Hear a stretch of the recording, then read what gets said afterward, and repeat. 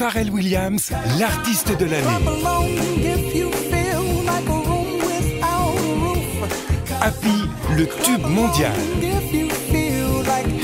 Pharrell Williams, enfin son nouvel album.